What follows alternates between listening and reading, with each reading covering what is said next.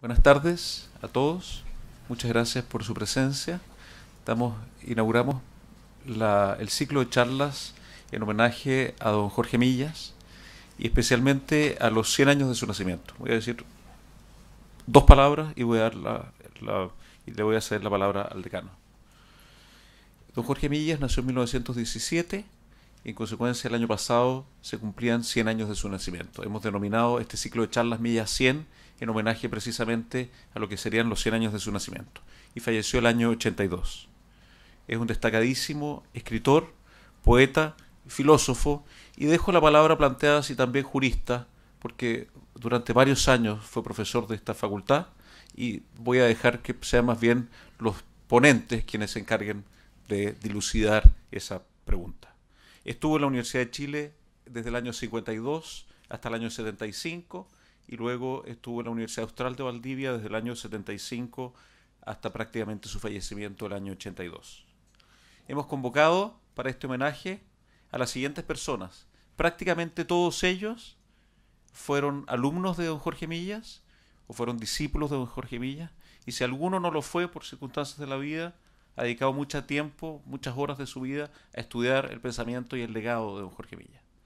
Y son el decano, Davor Harasic, que nos hablará en un momento más, Enrique Barros, profesor de esta escuela de Derecho Privado, de toda una vida, don Jorge Streeter, que también nos acompaña esta, esta tarde, profesor durante más de 30 años, creo que son 33, tanto de Filosofía del Derecho como de Derecho Económico, María Angélica Figueroa, profesora de Historia del Derecho, don Fernando Quintana, que también nos acompaña, nos acompaña el, decano, nos acompaña Enrique Barros, nos acompaña Jorge Streeter, nos acompaña Fernando Quintana también, profesor de Filosofía del Derecho, y finalmente Miguel Orellana.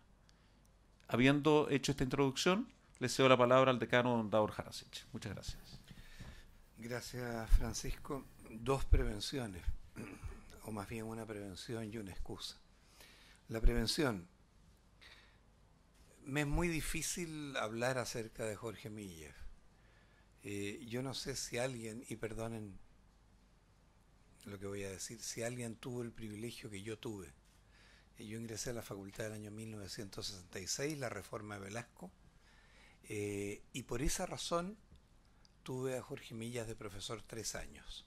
Lo tuve el 66, lo tuve el 67 y lo tuve en 1970. Muchas veces me he preguntado cuánto ha influido Jorge Millas en mí y realmente hasta el día de hoy no descubro la inmensidad de, de- su eh, influencia en, en- en mi manera de incluso de afrontar la vida. Eh, comentaba con Jorge Streeter y otras personas a la entrada, eh, una de las clases, la de 1967, era los días sábados. Y en una oportunidad esa clase terminó en el segundo piso del Bosco. Por lo que veo el universitario acá no, no, no tiene idea lo que eso significaba. Terminó en el segundo piso del Bosco a las cinco y media de la tarde de un día sábado. Y esto lo doy como una explicación y como una prevención porque no podría hablar de Jorge Milla sin leer eh, eh, porque la, la, la, la emoción la verdad que me, me, me- no me es indiferente el, el, el tema. Y en segundo lugar una excusa, me encantaría Enrique quedarme, pero lamentablemente creo que todos sabemos los problemas que tenemos en la facultad, acaba de terminar una asamblea y debo bajar a una reunión que me están solicitando. Dicho eso, permítanme las palabras que traigo preparadas. La desdicha de los filósofos es reconocida ya por Platón, cuando escribió que filosofar es perder la tranquilidad.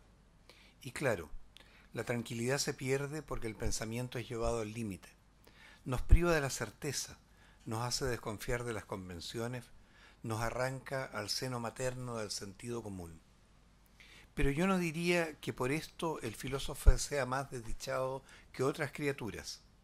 Con ellas comparte el absurdo destino del sufrimiento humano, como también el placer, no menos absurdo, de las cosas hermosas y agradables de la vida. Y tal vez tenga sobre otras personas la ventaja de una experiencia maravillosa, la satisfacción del pensamiento que acierta. Estas palabras son, por cierto, Jorge Millas. Las pronunció en Valdivia en 1977, mientras, como dijo Pancho, se dedicaba a ser decano de la Facultad de Filosofía y Ciencias Sociales en la Universidad Austral. La satisfacción del pensamiento que acierta. No he querido dejar pasar esta frase de Millas por ser especialmente relevante para este encuentro.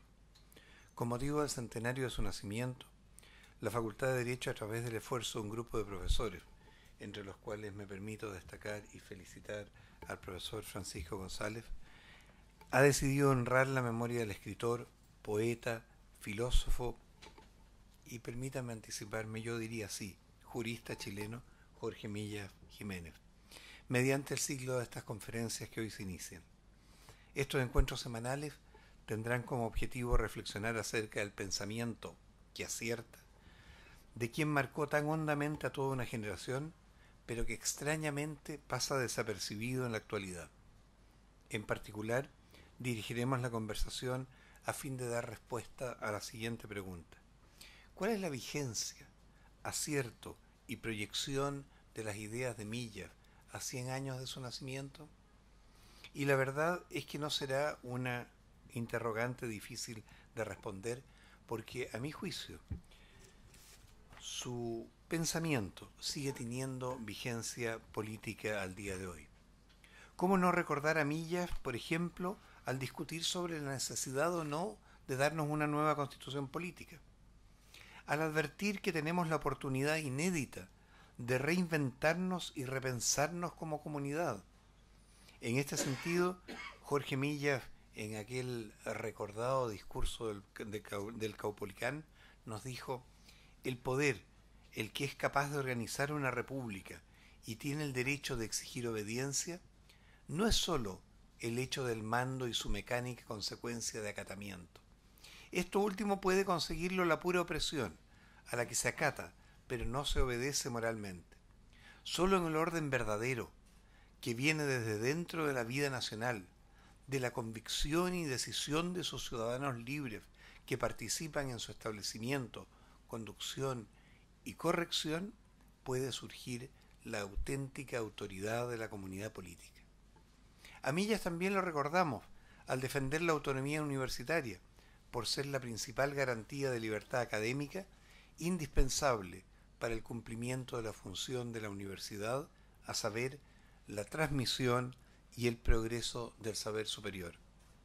Su pensamiento estuvo especialmente presente entre nosotros hace algunos meses, cuando discutíamos sobre las leyes de reforma de educación superior y sobre universidades del Estado, teniendo siempre presente su reflexión en torno a los objetivos en los que la función de la universidad es insustituible. Hablo comillas. Primero, crear un ambiente donde la inteligencia y la ciencia puedan convertirse en disciplina colectiva. Y segundo, traspasar a la juventud y a través de ella, mediante hábitos y destrezas a la nación entera, los valores y resultados de dicha disciplina. Cierro las comillas. A pesar de que las ideas de Millas han sido y siguen siendo tan relevantes entre nosotros, ha sido acertadamente descrito como un ilustre desconocido. Ilustre por la forma en que sus escritos son estudiados y citados a nivel nacional e internacional y desconocido debido a que pocos leen libros de filosofía y su nombre lamentablemente trasciende el ambiente universitario en muy escasas ocasiones. Esto no puede seguir ocurriendo. Parafraseando al mismo Jorge Millas al homenajear la memoria del poeta Luis Oyarzún, tenemos el deber de esforzarnos en fijar el espíritu de este gran filósofo para que no muera dos veces. La primera muerte de Millas, que es para la tierra que lo engendró y cobijó, no podemos remediarla. Y la pérdida física que nos impone es ciertamente irreparable. Lo que nos queda es su obra. Y por ello, como Universidad de Chile, debemos ocuparnos de, que su pensamiento no se desvanezca en las nuevas generaciones. Tal como lo señaló la directora del archivo Andrés Bello, Alejandra Araya, en una de las actividades de homenaje realizadas el año pasado, la realización de este tipo de encuentros es parte de esa relación ineludible que debemos tener con la universidad, entre los que estuvieron, los que están y los que estarán. Debemos ocuparnos de revisar el legado de, legado de millas y actualizarlo a los tiempos que vivimos. Es un honor para mí darles la bienvenida a este ciclo de conferencias Millas Mil para abordar la vigencia del pensamiento de Millas, en la cual contaremos con la participación de muy destacados académicos, tal como lo informó Pancho González. Agradezco particularmente la participación del profesor Enrique Barros, quien tendrá a su cargo la sesión de hoy y analizará la relación entre las ideas de Millas y Ludwig Wittgenstein. Muchísimas gracias.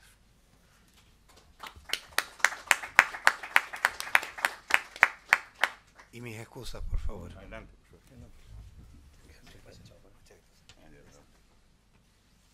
¿Puedo un par de preguntas de tu clase? Sí, voy a ver cuánto dura, ¿ya? Porque nunca se sabe. Unos 45 minutos. Sí, es un poco la idea.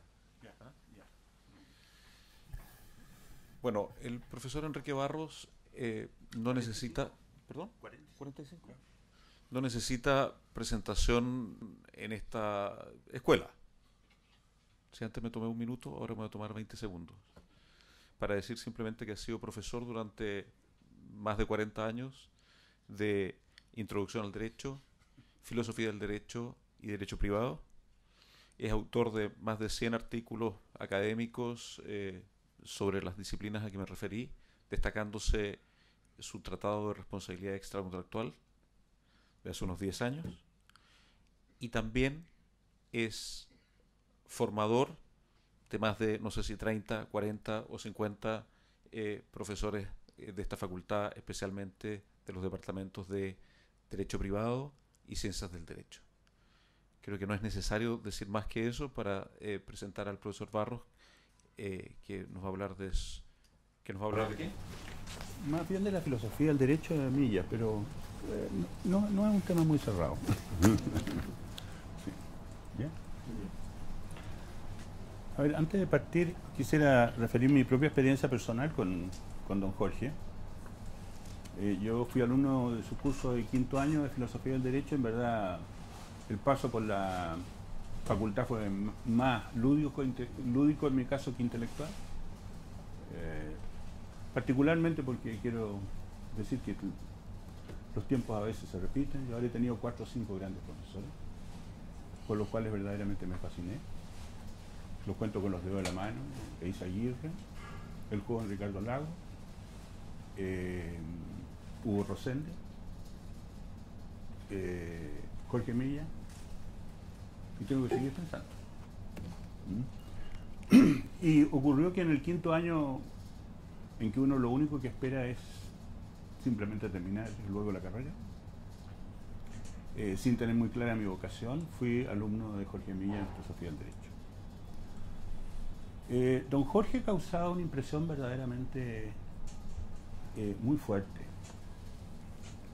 Era un hombre de un aspecto oriental, indio, en cierto sentido. La piel oscura, los ojos muy profundos, unos ojos marrones muy profundos, em, de un vestir completamente descuidado, pero absolutamente formal traje negro, una, camisa blanca, una, corbata oscura, todo desaliñado, pero todo perfectamente formal. Y tenía una, una calidad que yo nunca he podido en mi vida reproducirla, que podía desarrollar el pensamiento durante los 45 o 50 minutos de la clase de una manera continua, ininterrumpida, ligada, en que cada una de las partes convergían al final de la explicación en, una, en un razonamiento que uno lograba entender solo al final. En otras palabras, Milla era un hombre de un pensamiento limpio, lógico, articulado, conceptualmente puro. Eh, después conocí a Jorge Milla más intensamente. Tempranamente él mismo me invitó, saliendo de ese curso de, Filosofía del Derecho, a postular a un, como ayudante de introducción al derecho, lo que hice el año que salí de la universidad, el año 69. O sea, yo fui el alumno de Viñas el 68, o sea... Eh, y ahí disfruté, ahí sí que disfruté de su amistad. Disfruté de su amistad bastante fuerte en el Seminario de Derecho Penal, donde se juntaba algunos de los poquísimos profesores que verdaderamente se dedicaban entonces a la academia en la facultad. Recuerdo estaba Juan Busto, Sergio Politov, eh, Bunsta, Álvaro Bunsta, eran casi todos penalistas. En toda mi vida me tocó convivir con penalistas y aborreciendo el derecho penal. y, y, y, en verdad la conversación era una conversación que en el momento que tomaba la palabra mía se acababan, se acababa, digamos, llamémoslo así, cualquier enardecimiento. Era un hombre pacífico, tremendamente humilde. Humilde tal vez más en apariencia que en pensamiento. Pero era un, un, gran tipo. Y yo lo que voy a tratar de hacer en esta clase es, en la segunda clase, que es el lunes próximo, ¿no? voy a contar mi última experiencia con Millas, que fue tres días antes de su muerte. Pero en esta clase me voy a dedicar simplemente a explorar un poco lo que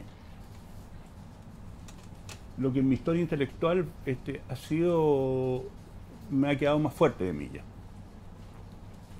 Yo después de la precisamente tal vez por, por su influencia en parte, no, no lo quiero no quiero atribuir una razón causal, pero estuve recién egresado hasta que me doctoré prácticamente 8 o 10 años dedicado a filosofía del derecho. Disciplina que abandoné por completo cuando decidí que había que dedicarse al derecho, a las ciencias del derecho en sentido estricto, a las cuales se, refería, se refiere por lo demás Millas en su filosofía del derecho. La filosofía del derecho de Millas no es una, no es una obra, está recién republicada por la, por la mm, editorial de la Universidad Diego Portales, no es una obra propiamente, llamémoslo así, que haya sido publicada con presentaciones y cosas por el estilo, son unos apuntes de clase. Revisando mi biblioteca, ordenando mi biblioteca hace algunos meses, me encontré con que había desaparecido mi filosofía del derecho de Villa, pero estaba en la facultad. Y, para qué les digo el agrado que me dio encontrar este texto en la biblioteca de la facultad. Un texto mimeografiado, bien impreso, por editorial universitaria en esa época. Fecha 1958. Tengamos claro porque, entre otras cosas, como voy a decir enseguida, 1958 son estos apuntes, que no es en verdad una filosofía del derecho a votar, pero uno la lee y es como si fuera un, texto largamente meditado y corregido. Eh, pero es tres años antes de la publicación de The Concept of Law de, Hart. O sea, ese es un punto que es bien importante, porque resulta que eso también explica la cercanía muy fuerte, sin tener un contrapunto que tiene Millas con Kelsen. Pero al tema de Kelsen me voy a referir en la clase del lunes próximo, a la filosofía del derecho y, cómo trata de dar un paso más allá de Kelsen. Y la duda que en uno se plantea, dice, al tratar de dar el paso más allá de Kelsen, en el fondo caen ciertas contradicciones. Eso es lo que vamos a tratar de ver en la, en la, en la clase del, Hoy día va a ser una clase más expositiva, más general. La principal obra de Millas, este es el, el primer tomo, se llama La idea de la filosofía, el conocimiento. Publicada por editor, eh, eh, terminada de escribir en el año 1968 y publicada en el año 1969, en plena época de grandes convulsiones en Chile. Lo que más me impresionó retomando esta obra fue curiosamente la, nota inicial, la cita inicial. En la cita inicial de conversaciones con Eckermann, de, las famosas, preciosas conversaciones con Eckermann de, de Goethe, hace la siguiente cita. El hombre no nació para resolver los problemas del universo, sino para conocer dónde comienzan los problemas y mantenerse dentro de los límites de lo comprensible. Yo diría que esta es una máxima de ese genio que era Goethe, pero también es una máxima de la más interesante filosofía del siglo XX. Mantenerse dentro de los márgenes de lo posible. Esto yo creo que también lo podría haber recordado Wittgenstein, el 1 y el 2. Que hago la referencia a Wittgenstein, en algún momento se citó que podía ser una relación de millas con Wittgenstein, porque Wittgenstein en el fondo es el, es el filósofo del siglo XX que más fuertemente influyó en mi concepción del derecho práctico, del, derecho civil. O sea, tiene conciencia de los límites, ¿no es cierto? Y ahora voy a continuar con una segunda cita, que la, la, la voy a leer de aquí, no del libro, que me parece particularmente importante para entender los tiempos convulsos, en, que vivió, en que vivió Millas. Después de hacer una, cita de, de Bertrand Russell en su tardía repulsión anticapitalista y en cierto sentido antiliberal, Millas escribe, uno ha de resignarse a admitir, contra toda lógica y experiencia, que los males del capitalismo denunciados por Bertrand Russell son males verdaderos y que los demás o son mera consecuencia o no cuentan o constituyen verdades al revés. O sea, en el fondo, la idea que circundaba en su tiempo de que todos los males venían de allí y que todo se podía explicar en torno a eso. Pero no es todo. Porque tras eso viene el acto de fe partidista respecto al tipo de sociedad que se busca, a los valores que la exaltan. La idea y la pasión de la justicia van a parar de ese modo en la idea y la pasión del poder. Les hommes contre les hommes, cita a Marcel. Se suele decir entre los filósofos profesionales que Milla era conservador. Siempre tuve la idea de que era realista y aborrecía los ruidos de tambor de la masa. Resistió la reforma universitaria. Se opuso a la reforma universitaria. Subsistió en Valdivia durante la dictadura. Subsistió, calladamente. Muerto, en esa época murió su gran amigo Yersun, ahí que estaba también en Valdivia. En un estado de profunda soledad, estaba en Valdivia don Jorge Mella. Fue voz pública nacional en su oposición a la constitución del, del 80 en la cita que ha, hecho el decano.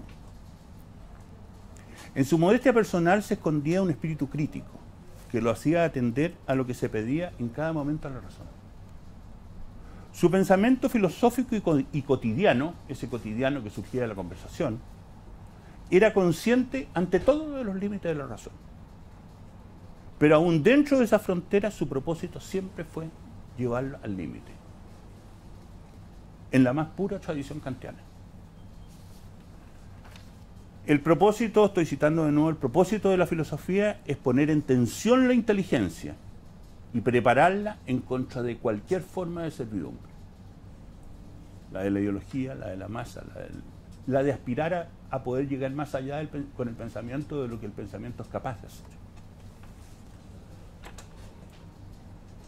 Escepticismo conservador, alma liberal, corazón social, pero ante todo, lo característico de don Jorge era su nobleza de espíritu, que le permitía hacer todas estas cosas a la vez. Por eso se ganó fumnas de quienes detestaban un pensamiento libre, sin las cadenas de pasión política o simplemente del poder puro después. Su tarea intelectual era llegar a las formas más simples, más transparentes, lúcidas, sobre la base de un radical proceso de clarificación conceptual, consciente de las trampas que tiene el lenguaje. La radicalidad de su búsqueda de claridad llega al límite, cuando la razón simplemente no puede dar otro paso. Le era aplicable a su pensamiento la idea de Wittgenstein I. Eh, Millas no alcanzó a conocer la obra tardía de Wittgenstein. De que la lógica está en el fundamento de todo conocimiento específico. Los límites del lenguaje son los límites de mi mundo, decía Wittgenstein. Yo diría que en el caso de Millas, los límites de la razón son mi única valla. Por eso, al límite. Lo que se puede decir, se deja decir claro. Y de aquello que no se puede hablar, es mejor callar, decía el Wittgenstein I, filósofo filósofo, el gran filósofo de la, de la analítica atomista. En Wittgenstein II los grandes problemas filosóficos aparecen como trastornos mentales, Geiststörungen, ideas fijas que nos atan. Millas, con toda la circunscripción de su espíritu, lleva el análisis a los puntos más recónditos, como se muestra, por ejemplo, en su axiología del derecho. La filosofía penetra en los más importantes ámbitos de la existencia y del conocimiento. en los límites de la experiencia, en la naturaleza más simple de la conciencia explicativa. Este libro yo recomendaría muchísimo el capítulo primero, que es un, o sea, en su clase de filosofía él partía con una breve análisis de su concepción de la filosofía general y después entra en filosofía del derecho. La filosofía penetra en los más ámbitos, en los más importantes ámbitos de la existencia y del conocimiento, en los límites de la experiencia, en la naturaleza más simple de la, de la ciencia explicativa, en nuestra sabiduría y de nuestra sabiduría práctica, en los límites del arte, de los principios de la ética. Fíjense bien que descubrí y me distraje, y por eso en preparar eh, esta exposición, al ver que en el primer tomo, el último, el último capítulo de este tomo de, la, de, la, de la idea de filosofía, lo dedica a la filosofía y la poesía. Y tiene especialmente, ahora que, ha, muerto Nicanor Parra y se ha dicho tanto sobre Nicanor Parra, qué pena que no se haya, haya reproducido el párrafo, los hechos y las, y las cosas en la antipoesía de Parra. O sea, en el fondo era un hombre de una profunda sensibilidad, cuyo universo iba a la explicación de las ciencias naturales, el discurso moral, la poesía, la narrativa en general, y porque hizo muchos años clases en esta universidad, en esta facultad que lo acogió, como acogió a Jaime Aguirre, como acogió muchos intelectuales en su época. Se dedicó a filosofía del derecho también, sin ser jurista.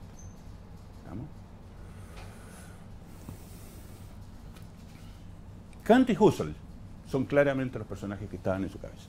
Eh, eh, en las conversaciones, Milla siempre cuando un tema lo volvía, ¿cómo pensaría Husserl? Y el principio kantiano, digamos, de, la universalidad. Yo creo que ese esos son, digamos, y el formalismo kantiano. El formalismo kantiano eh, se traspasa exactamente, completamente a la, a la filosofía del derecho de Milla. La filosofía del derecho de Milla es la obra intelectual de un filósofo que pretende encontrar lo esencial. Esto es lo universal de su objeto. ¿Qué es lo universal en el derecho? Su objeto no, es, no son las ramas del derecho, sino una filosofía del concepto de derecho que trascienda al derecho civil, al derecho administrativo, al derecho constitucional o al derecho agrícola y ganadero. ¿No es cierto? Jorge Millas pensaba que entender el mundo ya estaría suficiente para la filosofía y que si se pretendía cambiarlo, suponía tener noticia de cómo es, cómo funciona, cuáles son nuestras capacidades. Y por eso tenía un aborrecimiento profundo al, vulgarismo. En este esfuerzo de comprender se ubica su filosofía del derecho, que es filosofía sobre un objeto, el derecho.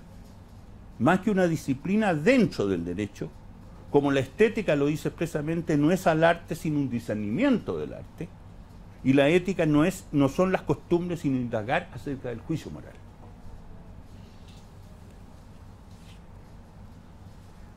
Vuelvo a Wittgenstein ahora, al Wittgenstein del lenguaje corriente. Tengo un perro, tengo terror, tengo apuro. ¿Tiene que haber algo que los une? Uno hace la asociación, tengo un perro, tengo terror, tengo apuro. Pero resulta que Wittgenstein se pregunta, ¿tiene que haber una asociación entre todos estos conceptos?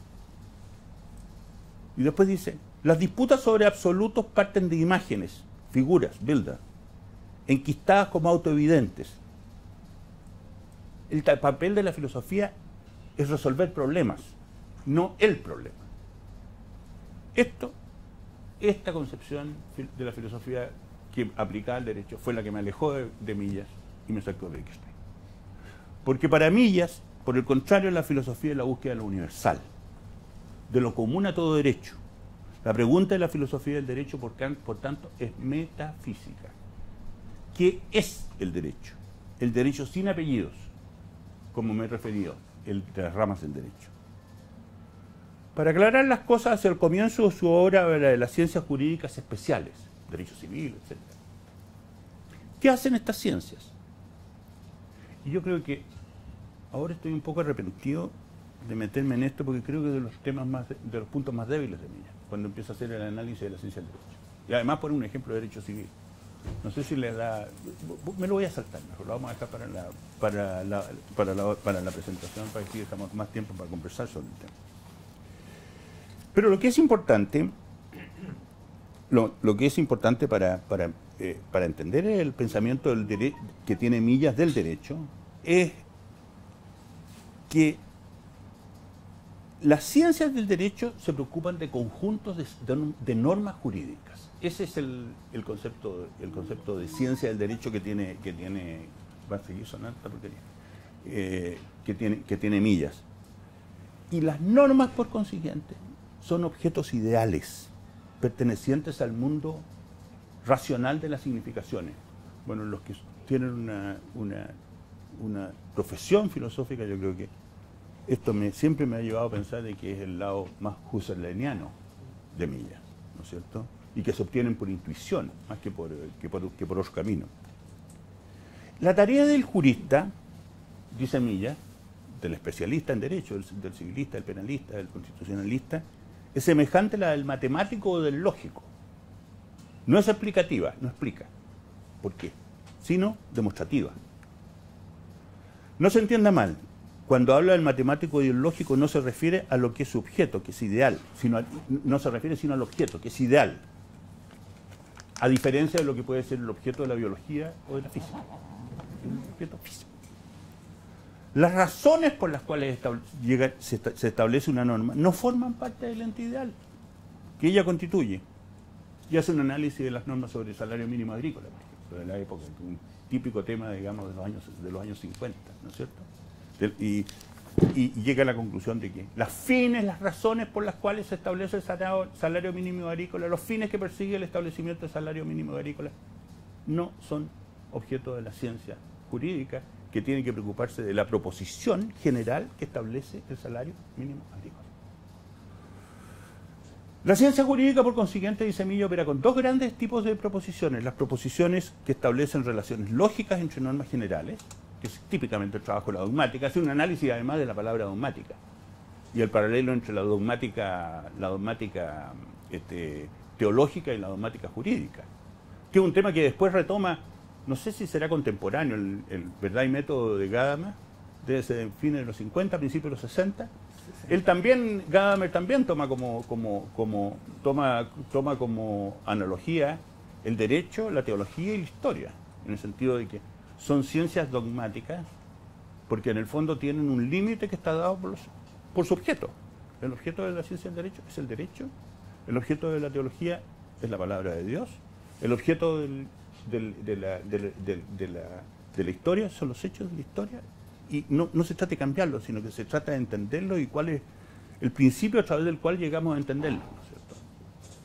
El caso de Gadamer es, por, cierto, completamente distinto a esa tradición hermenéutica, completamente distinta a la tradición analítica de- de Millas, porque Millas en el fondo supone que entender las normas es esencialmente entender, digamos, el significado de proposiciones, de proposiciones generales que se interconectan unas con otras, que forman un sistema, y ahí uno puede llegar a la solución. El ejemplo que pone es el de, la herencia, yacente, que dice que se enseña que es una persona jurídica, pero que, no es persona jurídica, y la razón principal por la cual no puedo omitir, eh, ¿ves cómo caí? la razón por la cual este, eh, dice que no hay, que no es, eh, que no es persona jurídica, fíjense bien cómo es típicamente textual, porque en el artículo 2346 cuando se habla de la fianza se dice que se puede afianzar a, a la persona jurídica y a la herencia yacente. Él piensa siempre que el legislador es, una, es un artífice de conceptos, de conceptos puros. A él no se le ocurre, por ejemplo, en ese respecto, que pueda decir que en todas las otras normas sobre herencia yacente se trata como una especie de persona jurídica, porque se le, se le nombra curador, se- la prescripción corre contra la herencia yacente o no corre contra la herencia yacente, se suspende, todas las reglas, es como si fuera persona, es como si fuera persona, es como si fuera persona. Pero él hace un análisis textual y dice, si se, si se, si se puede hacer afianzar a las personas jurídicas y a la herencia yacente, quiere decir que la herencia yacente no es persona jurídica. Mi pregunta es, ¿el Código Civil no está construido con un afán mucho más pragmático? ¿No puede ser un ejemplo? ¿No puede ser una aclaración para que no haya ninguna duda? Del análisis puramente conceptual se supone que la legislación, que las normas están expresadas en proposiciones absolutamente unívocas.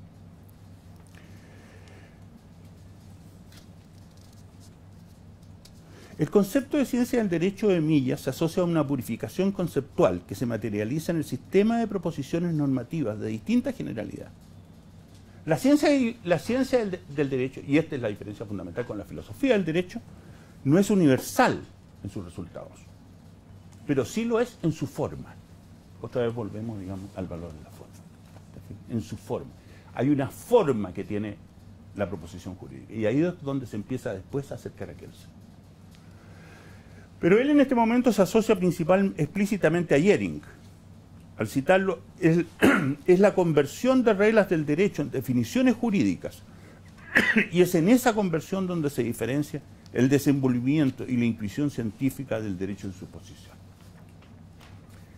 La limpieza conceptual no es baladí, porque es condición de la ciencia jurídica, como pensamiento lógico del orden previsto por las normas. Y aquí viene el contraste.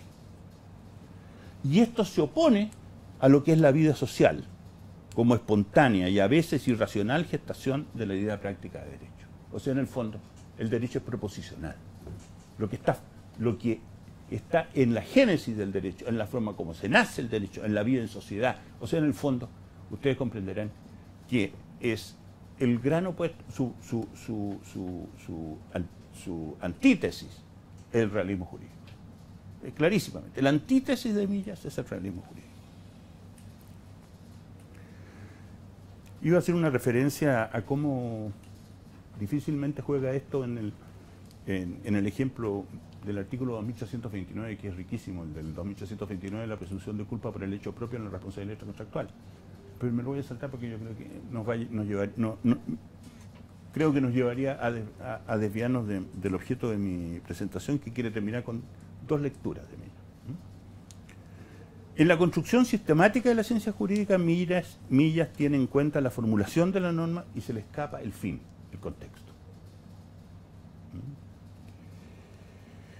Pero no la ciencia del derecho, no es la ciencia del derecho el objeto de la filosofía del derecho. O sea, no es una meta, una, no es una metaciencia, una ciencia sobre la ciencia. No. La, como, lo es, como lo es en gran medida en esa época, la filosofía del derecho alemana, que es básicamente una ciencia sobre la ciencia del derecho. ¿Mm? Larens, por ejemplo, clarísimo en ese sentido. ¿Mm? No, el derecho y la ciencia del derecho son cosas distintas. Las ciencias del derecho tienen una, naturaleza especial. La filosofía no es la ciencia del derecho, sino la esencia del derecho. Y aquí parte, digamos, otro punto que me encantaría escuchar después a, las otras exposiciones, en la medida de lo posible es que al final del día, eh, para Millas, en definitiva, hacer filosofía del derecho es llegar a la esencia del derecho, llegar al ser, del deber ser que es el derecho. Y ese ser de ese particular deber ser que es el derecho es universal, común a toda forma de pensar el derecho. Voy a terminar leyendo un par de párrafos que me parece que muestran muy claramente lo que es la... Leo esto porque eh, nuestra versión antigua de, casi mimeógrafo eh, se lee con más dificultad.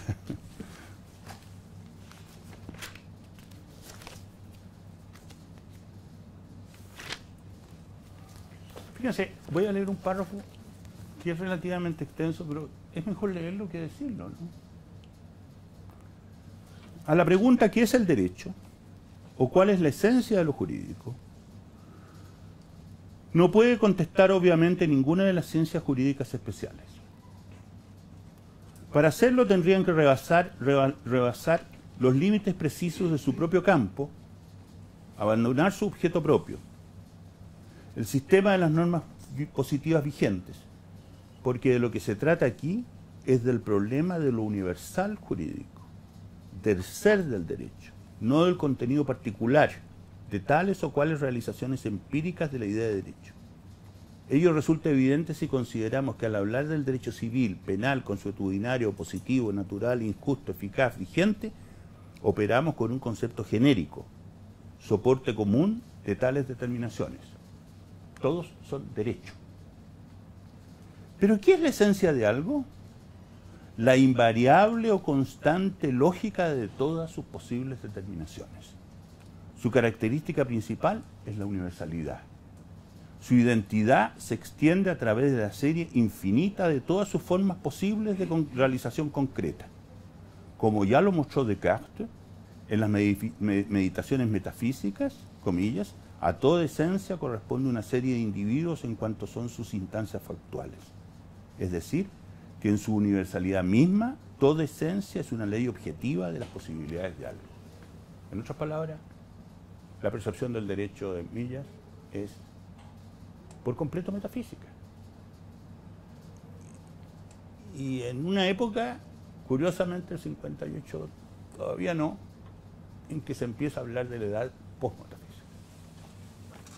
O sea, no hay otro, no hay, yo no conozco, no conozco otro jurista que después de Millas haya escrito desde una perspectiva tan metafísica sobre el ser del derecho. Ahora, para llegar, digamos, a esta esencia de lo que es el derecho, eso es lo que voy a ver en la, en la, en la, en la charla siguiente del lunes próximo, como les anticipé, este, Milla sigue muy cercanamente a Kelsen. En verdad es un. queda admirado con la limpieza de Kelsen. Ojo, la, primera versión de la teoría pura, porque no, la segunda no sabía, tampoco la conoció. Este libro de 58, la segunda, la segunda edición de la teoría pura es del 62, 61, por ahí. O sea, el librito cortito, ese que han leído todos en primer año. eh, ese, ese, concepto de, ese concepto de derecho es el que lo fascina y lo vamos a tratar de explicar y desarrollar de la mano de Milla en la, en la, en la, en la siguiente sesión. Pero Milla tiene una curiosidad que yo creo que en el fondo al final también lo traiciona en su concepto de descubrimiento de la esencia del derecho. Porque no puede renunciar a que el derecho tiene fines, a que el derecho tiene una propia axiología y en esto Millas es muy cercano, es muy cercano a, yo diría que es muy cercano a Schiller, a esto Hartmann, esa, esa, esa, esa, esa glosa de la filosofía alemana pre-Heidegger, que en el fondo, de nuevo, creo que en materia, que es la antítesis por lo demás del, del, del, empirismo, del imperismo de Oxford de la época, ¿no? en materia filosófica. Este, el, lo, que hace, lo que hace Millas en el fondo es considerar que los valores tienen una entidad también esencial, absoluta.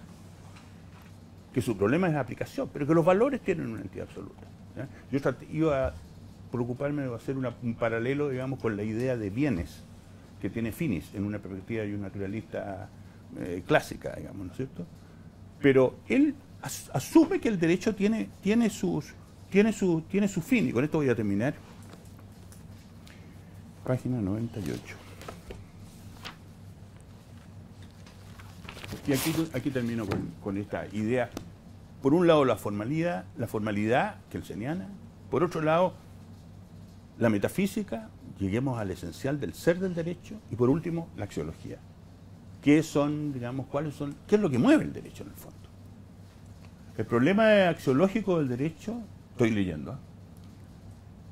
el problema axiológico del derecho, el análisis de su estructura finalista, se halla en estrecha conexión con unos interrogantes finales en que culmina la tarea de integración racional de la experiencia jurídica. Fíjense bien, en que culmina la tarea de integración racional de la experiencia jurídica.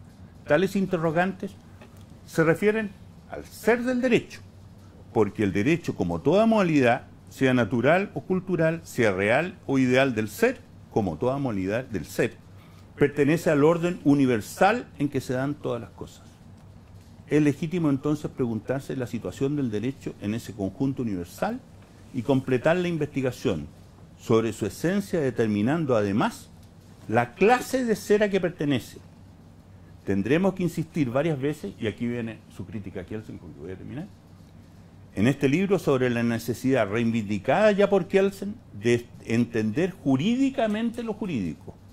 Esto es de purificar al máximo los conceptos peculiares con que el derecho ha de ser pensado, para ser adecuadamente descrito en su inconfundible estructura. Más, tarea tan necesaria constituye solo una etapa técnica de otra mucho más amplia, más difícil y quién sabe si también mucho más útil, la de comprender el derecho dentro del orden universal de las cosas con las que se da. Y entre las cosas con las que se da están naturalmente los fines. En definitiva, a uno le queda la impresión con esta introducción, ya, la, ya vamos a ver la parte más, en una parte, en, una, en un desarrollo más preciso, más pulido, digamos, de su concepto, de, su filosofía del derecho y la relación con la axiología. Pero ustedes podrán darse cuenta que en, en, en millas concurren, a ver, yo diría, formas de pensar que son en cierto sentido históricamente concurrentes. El formalismo kantiano, que se expresa, que se sigue, digamos, bien o mal, digamos, con otro, con otro sentido completamente distinto que en Kant, en Kelsen, el formalismo. Enseguida, la, la metafísica, la ontología, básicamente, que es el ser del derecho, como ser común, ¿no es cierto?, a toda forma de derecho, en donde interpreta a Kelsen como metodología del derecho, como teoría metodológica del derecho, pero, no, pero le niega carácter filosófico a la teoría de Kelsen. Y por último, yo diría que su renuncia a su espíritu más profundo, que es, ¿tiene sentido hablar de derecho si no hablamos de para qué el derecho? Yo diría que esa es la última pregunta. Y esa última pregunta, en cierto sentido, está en conflicto y está en contradicción probablemente con las anteriores. Bueno, esto es lo que quería plantearles como, como una forma introductoria y muy personal a lo que entiendo de la filosofía de, de la filosofía del derecho de un Jorge. ¿no? Muy bien. ¿Algún comentario, alguna pregunta? ¿Alguien quiere hacer alguna reflexión al profesor Barros?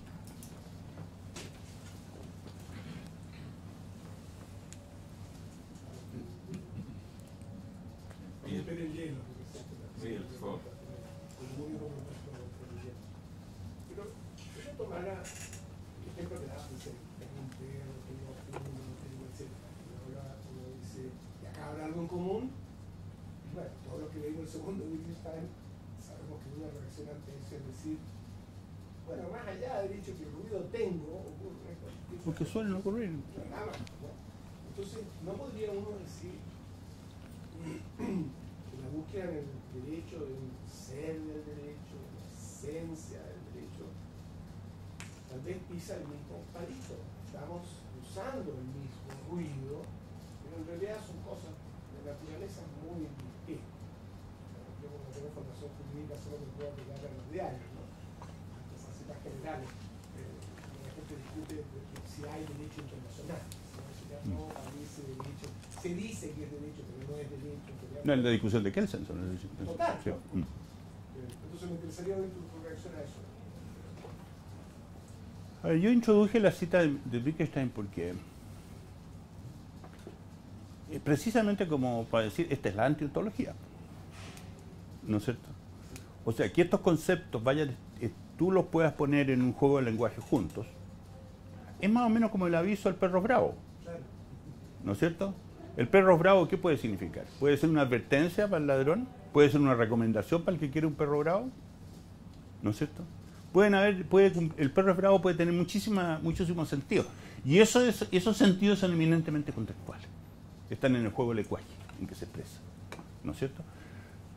Eh, claro, la pregunta de la pregunta de, del ser del derecho a mí siempre, tempranamente, cuando dejé mi ya, digamos, en el fondo, después yo estuve 3, 4 años aquí en la facultad, diariamente en el seminario de Derecho Penal, porque yo tenía oficina muy cerca y nos juntábamos ahí en el seminario de Derecho Penal, el, único lugar entretenido que había en la facultad, ¿verdad? Eh, eh, yo diría que la conversación de Millas, la conversación cotidiana de Millas era mucho menos, a ver cómo decirte, era una conversación en que tomaba los hechos con una distancia crítica muy grande. lo que estaba pasando en Chile. Estoy hablando del 70-74. Partimos el 70. Ya Milla se había ido el 72, 73, se fue ya a Valdivia definitivamente.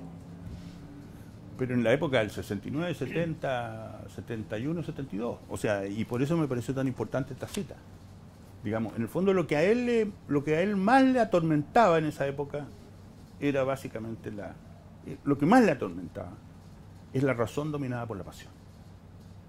Y, y, una, y antecediendo, y sumándose ya el año 68, sí, 68, 58, antecediéndose a la idea de que la razón, o sea, digamos, la razón dominada por la pasión termina, termina necesariamente en una hambre de poder. Esa percepción yo es lo que más percibí y por eso creo que Milla en esa perspectiva es claramente un conservador.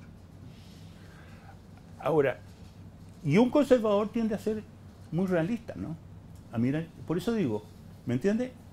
Pero él en su, en su perspectiva científico-filosófica, digamos, es mucho más metafísico, más ontologista, te fijas tú, en el sentido de, en el sentido de buscar el ser, buscar el ser, buscar el ser, buscar lo común, buscar lo general, buscar lo universal, y por eso se fascina con Kelsen. ¿Te fijas? Es muy fácil fascinarse con Kelsen. ¿Alguna otra reflexión, comentario, pregunta? Si es que no hay otro profesor que quiera preguntar antes. Eh, Adelante. No, por favor. Sí. Yo tengo una pregunta al profesor Barros, eh, que es la siguiente. Se ha mencionado que el, el, método que sigue el profesor Jorge Milla es básicamente buscar una idea en común que nos pueda dar una respuesta a la esencia de, del derecho. Y en ese sentido hemos, hemos escuchado que hay una cercanía a Kelsen. Y esta cercanía a, a Kelsen dice relación justamente con construir algo así como, en el fondo, dar respuesta a esta esencia. Y luego hemos entendido eh, que eh, las ciencias del derecho son una disciplina que se ocupa de estudiar normas. Mm. Por lo tanto, el derecho está compuesto de normas. Mm. Podríamos entenderlo de esa forma. Son muy presenianas. Mm. Y las normas básicamente son un objeto ideal que constituye lo que entendemos como una proposición. Sí. Luego la pregunta que a mi juicio nos, tenemos que hacer es qué es lo que tiene en común una norma que prescribe un castigo para una determinada conducta con otra norma que, por ejemplo, define las potestades de una autoridad pública. Mm. Porque si ambas cosas, si ambas normas, ambas normas son derechos, algo deben tener en común. El problema entonces que, que, a mí se me aparece es el siguiente. Eh, si en términos de la construcción lógica de estas dos normas no podemos encontrar algo en común, parece que tenemos que buscar afuera de las normas, algo que esté afuera de las normas que les dé un marco común. Y el problema de eso es que fácilmente nosotros podemos decir es que estas normas son derechos porque emanan de una autoridad, ¿no? Y justamente esta, una definición, esta, esta, esta cadena de ideas una, eh, lleva a un resultado que básicamente ha sido discutido en la filosofía del derecho. O sea, es el derecho en el fondo una proposición emanada de una autoridad. Entonces yo eh, quería pedirle su, su, su, parecer respecto a este, de, su proceder respecto a esta conclusión. O sea, porque, en primer lugar, si es que en el fondo tenemos que salir de las normas para buscar algo común a ellas, y si, y si, y si esto es así, ¿es la autoridad lo que da, le da el derecho al carácter de derecho? Ah, bueno, te quiero decir que esa pregunta es una pregunta que me planteé todo el año. Y tanto así que terminó siendo mi tema de doctorado. Mi, mi problema es el problema de cuáles son los criterios de pertenencia al sistema. Si los criterios de pertenencia al sistema son puramente formales, ocurre que en definitiva siempre toda norma va a emanar, digamos, de una autoridad que tiene la potestad para, para, darla. ¿no? Se, pueden desarrollar este, este concepto sobre la costumbre, sobre distintas maneras y, darle un valor indirecto porque a la atribución a la costumbre, sea porque el derecho la cita como, como, en, la buena, como en la buena fe o en la culpa en el derecho civil, sea porque implícitamente, digamos, es aceptado. Pero en definitiva no cabe ninguna duda de que el derecho es más que la proposición. O sea, mi, te digo francamente que ese es mi, ha sido mi concepto clarísimamente de la proposición en que la norma se expresa. O sea, creo que hay que distinguir la norma de la proposición. Eso es un, tema bien importante. Ahora, respecto de los distintos tipos de reglas, es claro, digamos, Hart después lo aclara. ¿eh? Lo aclara mucho mejor, porque Hart distingue las reglas potestativas en el fondo de las reglas normativas. Y es un concepto que se ha tomado incluso en filosofía general con bastante por los analíticos posteriores. O sea, no tienen la misma estructura una regla que atribuye una potestad que una regla que establece un deber. Por último, este, a ese mismo respecto, adelanto algo que, dice, que, que plantea Milla. Milla, en un, en, es- en un afán ec- ecléctico que, que le es muy propio, cuando concibe la norma jurídica, ustedes saben que para que él sea la norma jurídica, la única norma jurídica es si tú haces tanto, tienes tal pena. ¿No es cierto? Claro, y que todo lo demás eh, es inferencia lógica simplemente. ¿No es cierto? claro. Eh, para mí ella dice que uno no puede entender esa regla sin la norma, o sea, no hay norma primaria y secundaria, sino que las dos tienen el mismo valor y tienen alguna relación conjuntiva, ¿vale? Es decir, la, proposición que establece el deber y la proposición que establece la sanción están conjuntivamente unidas y son y tienen- están en el mismo nivel porque uno no se puede entender sin el otro. En ese sentido yo diría que hay una, cierta hay una cierta diferencia bien o sea, que él pre- digamos que eh, yo le digo en mi, comi- en, mi, en mi comienzo, cuando recién me metí en la cosa de mi, ya, en mi curso de filosofía del derecho, entendí que era un juego de palabras. Pero, pero releyéndolo después, ciertamente que no lo era, porque en el fondo plantea, ahí es donde introduce la idea de que la norma persigue un fin. ¿Me entiendes tú? Claro. Gracias. Ya. Muy bien. ¿Alguna reflexión, comentario, pregunta, acotación?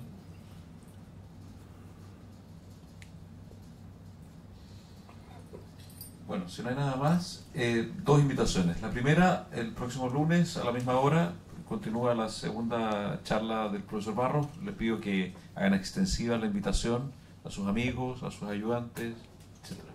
Y la segunda, una antigua tradición de esta escuela, vamos a hacer un vino de honor, aprovechando además que nos acompaña también ahora la profesora María Angélica Figueroa, con lo cual todos los ponentes de este ciclo de charlas están presentes aquí esta noche. Muchas gracias.